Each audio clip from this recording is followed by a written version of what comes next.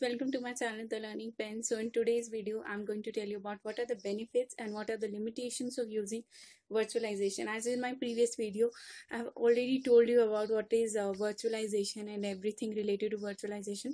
But in this video you must know that what is the benefits of using virtualization and what are the limitations that you must kept in your mind while using virtualization. So let's start the video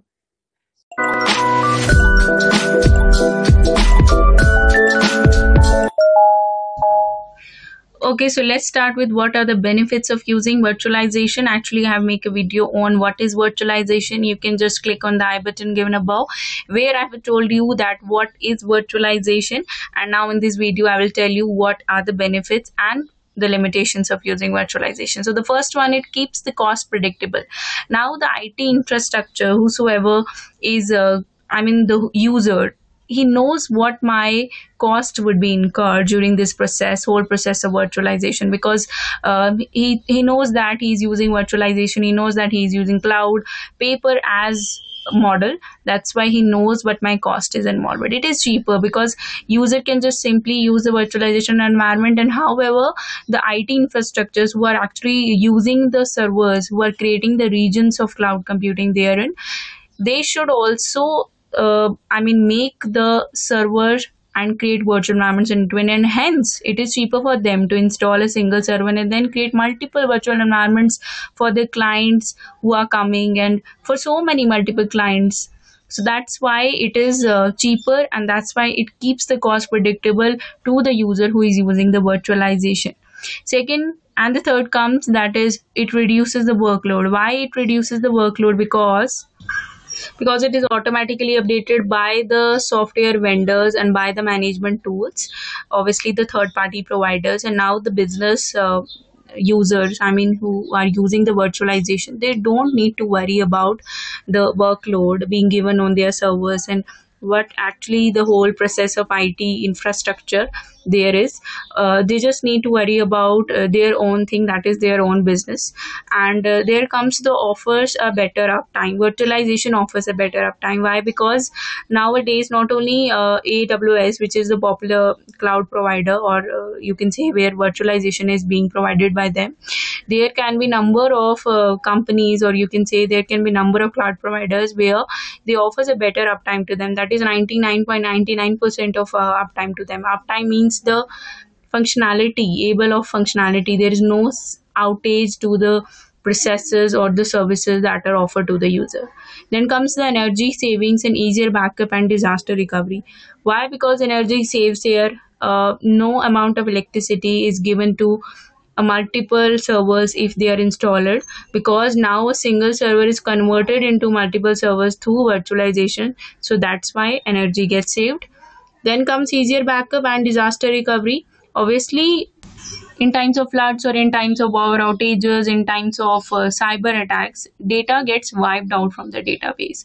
So that's why virtualization provides the process of redundancy. Replication of data is created. That's why easily backup of your data is uh, present in virtualization. And that's what is in times of disaster the data gets recovered back to your device to, to the user who is using that network of uh, virtualization. So basically it saves the energy now, faster deployment of resources means that there is no longer need to set up physical servers, physical technology components, and the creation of uh, local networks. It just simply expands your virtual environment, simply expands to the whole of the uh, organization, and just it improves the performance because it expands. In a single server, there are so many, you can say, virtualized environment that are created. So it simply expands with the help of a single machine it promotes the digital entrepreneurship. Why? Because a average person who thinks that it is impossible for me to expand my business globally for, for me to start my business to hustle and all now because of virtualization because of cloud computing it is easy for him to start his own business expand it globally and promotes his digital entrepreneurship and become the business owner which he thinks might was difficult at the time when there was no virtualization at the time when there was no cloud computing. Now let's just check out what are the limitations of using virtualization. Okay so the first one is that it is it has a high cost of implementation and it creates the security risk. High cost of implementation means for the user it is quite low. I mean the cost is quite low for them to use the services provided by the cloud providers or the virtualization environment created by them. But for the companies who are using for the providers who are implementing these kinds of things like they need to set up soft, software and hardware their implementation their manufacturing their development and all. So these things require cost and that's what it is high cost of implementation for the provider it creates security risk. Why? Because data which is very crucial for the business companies it is present in database it is present in their virtual environment and mostly it is targeted by the hackers to keep this data to have this data and that's what uh, there is a risk of security there's a risk of security in virtualization as one.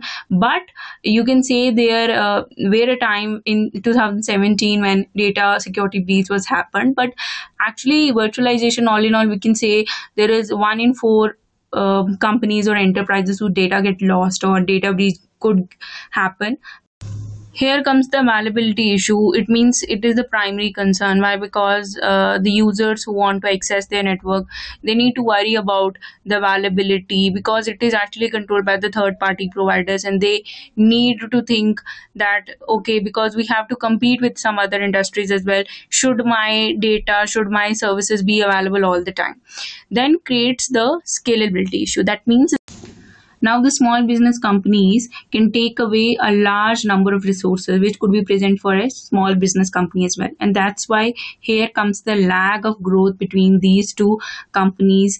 And uh, obviously this creates a scalability issue now comes it takes time. why it takes time? because the users in the long run can have to take the extra step that must be followed to generate the desired amount of result. So that's why it takes time at that process. And come the software licensing considerations. In the time of software the vendors who are using the software of virtualization creating it they have to clearly understand how they view software in a virtualized environment. This is what refers to the software licensing considerations when it comes to vendors who are generating the software, who are using this software to create a virtualized environment.